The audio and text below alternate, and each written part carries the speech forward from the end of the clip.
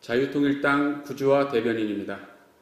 오늘 자유통일당 성명서 발표하도록 하겠습니다. 폭력과 폭언으로 선거운동을 방해한 국민의 힘을 규탄한다. 불공정한 공천 파동으로 자유우파 국민들을 크게 실망시키고 있는 국민의 힘이 이번에는 폭력과 폭언을 하며 자유통일당 이종혁 예비후보의 선거운동을 방해하는 만행을 저질렀습니다. 사건의 내막은 다음과 같습니다. 자유통일당 선대 본부장이자 부산 진구 을에 출마 선언을 한 이종혁 예비후보는 지난 16일 오전 7시경 지역군의 가야공원 입구에서 시민들에게 명함을 드리며 인사를 드리고 있었습니다. 그런데 약 20분 후 국민의힘 이현승 예비후보 측 당협 사무국장인 김창수 씨와 국민의힘 구의원 한 명이 나타났고 김창수 씨는 이종혁 예비후보에게 다가와 폭행과 폭언을 하며 선거운동을 방해하였습니다. 이에 자유통일당 이종혁 예비후보는 김창수 씨에게 선거운동 방해는 범죄 행위이니 즉시 중단해 줄 것을 수차례 정중히 요청하였습니다. 그러나 김창수 씨는 고성과 폭행을 계속하였습니다. 결국 이종혁 예비 후보는 참다 못해 112에 신고하였고 곧 경찰차 두 대와 경찰들이 현장에 도착하여 상황을 파악하였고 이종혁 예비 후보는 가야 지구대로 가서 피해 진술을 하였습니다. 현재 이 사건은 부산 진경찰서 지능범죄팀에서 수사 중이며 이종혁 예비 후보는 전치 3주 진단을 받았습니다. 공직선거의 후보자나 후보자가 되려고 하는 사람을 폭행하면 공직선거법 제237조에 따라 10년 이하의 징역 또는 벌금형에 처하여지게 됩니다. 선거운동 방해죄는 민주주의의 근간을 위협하는 중대 범죄입니다. 이러한 반민주적이고 반사회적인 행위를 한 국민의힘을 규탄하며 국민의힘 부산 진구을 현역 의원이기도 한 이헌승 예비 후보는 이 사태의 책임을 지고 사퇴하시기 바랍니다.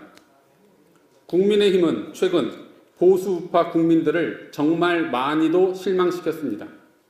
납득할 수 없는 사유로 도태우 변호사에 대한 재심사 끝에 공천 유지 결정을 한 지 불과 하루 만에 아무도 문제 삼지 않았던 노무현, 문재인 전 대통령에 대한 비판 발언을 국민의힘 스스로 문제 삼으며 끝내 공천을 취소하였습니다.